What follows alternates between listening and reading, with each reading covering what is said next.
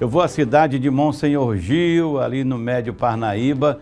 Lá em Monsenhor Gil foi preso o Jailson Araújo dos Santos. Olha aí, nós mostramos ontem o Jailson aí. Quem viu o Jailson por aí, ele matou a mulher dele. Ele é o principal suspeito de ter assassinado a própria esposa dentro de uma kitnet no bairro Pissarreira, na zona leste de Teresina.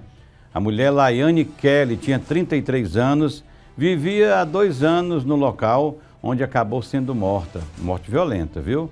Morte violenta. Ela teria levado pauladas e golpes no pescoço que chegou a quebrar o pescoço dela.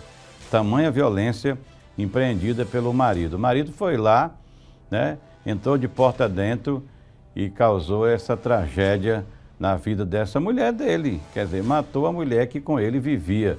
Fugiu, disseram que ele estava em Timon, que estava em outras cidades. A polícia monitorou e encontrou. Está aí o rapaz preso em Monsenhor Gil. Me conta aí, Ana Paula Barreira.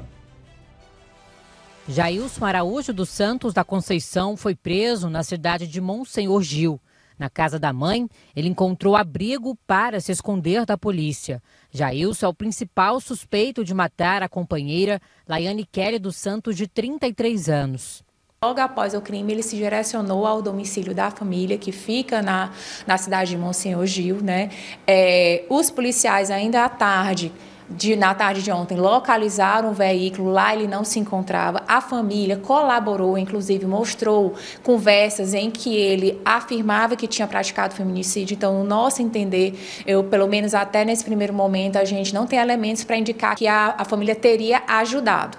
Muito pelo contrário, eles inclusive forneceram informações que confirmaram para a gente a autoria de Jair. O casal morava nessa kitnet do bairro Pissarreira há cerca de dois anos. E foi aqui que Jailson teria matado a ex-companheira.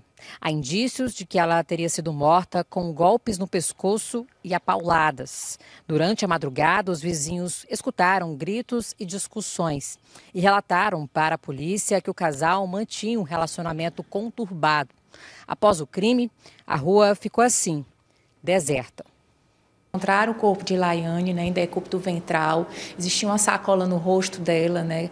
É, ao ser manipulado o corpo, constatou-se que tinham sinais ela ter passado por uma situação de estrangulamento e que o principal suspeito era o companheiro dela, até porque, segundo vizinhos, no dia anterior eles ouviram gritos da vítima pedindo socorro, que ao se direcionarem ao, ao domicílio do casal, é, o autor teria dito que estava tudo bem, então os vizinhos acharam que a situação tinha se resolvido. Jailson trabalhava como maqueiro em um hospital público de Teresina e até então não levantava nenhuma suspeita. O laudo que aponta a causa da morte de Laiane será divulgado nos próximos dias. No meu entendimento e experiência, acredito muito pouco provável que não tenha havido situações anteriores de violência doméstica e familiar. Ele, de fato, praticou o crime, foi preso ontem em flagrante delito e, em sede de interrogatório, confessou ter praticado feminicídio. Vai ser submetida a audiência de custódia, né? O juiz vai avaliar se converte ou não esse flagrante preventivo. Estamos no aguardo.